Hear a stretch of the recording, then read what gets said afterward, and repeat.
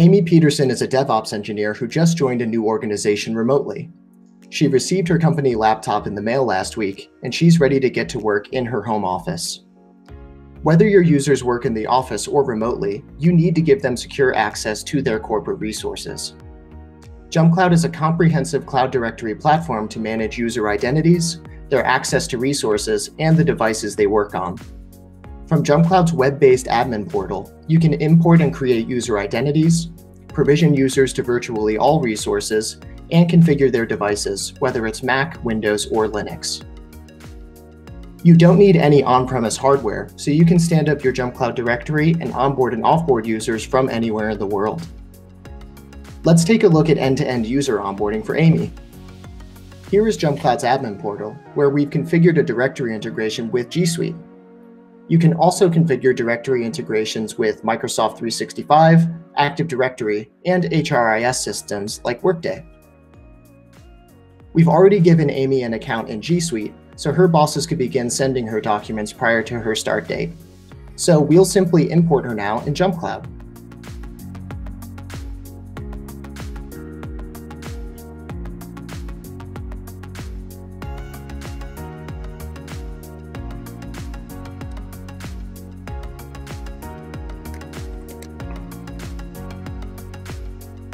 She appears in JumpCloud in an inactive state, which gives us control over when we trigger her user account to be active. This also means, ultimately, that JumpCloud can be the password authority for her Google account, as well as her other assigned resources. We can either send her an email to set her password or set a temporary password. Here, we'll give Amy a temporary password, which she can change at her first login.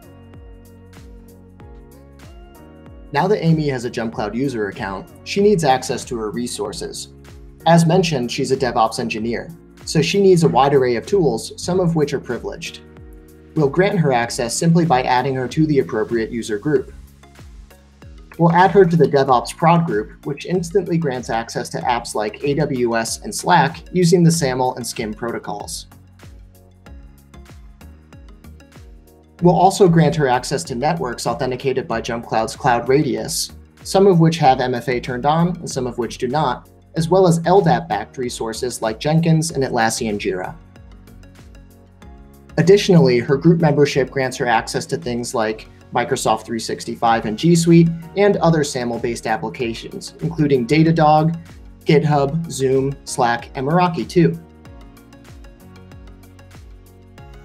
Next, we'll provision her to her computer. Amy has requested a MacBook, though she had a choice of a Mac, Windows, or Linux laptop. We can see her MacBook here as green and active in the admin portal because we've already downloaded the JumpCloud agent on it. The JumpCloud agent is the mechanism we use to control user access and configure and remotely manage devices, no matter where they're located.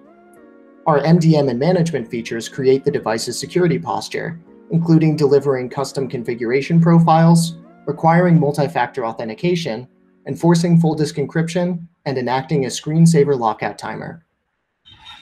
With JumpCloud, you can control remote Mac, Windows, and Linux machines similarly through a single pane of glass.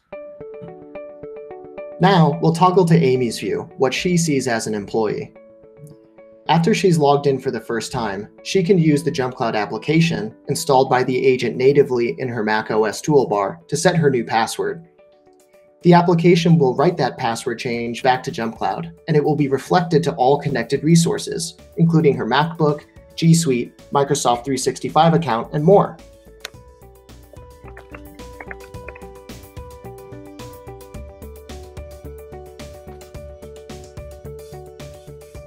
From this machine, she can enter her JumpCloud user portal one-click passwordless authentication. She can then automatically view and access her connected resources. This includes AWS, where she jumps into the role that gives her access to all of EC2, and then she gets to work. The portal also gives her the place to upload her public SSH keys, used for when she terminals into her Linux servers in AWS.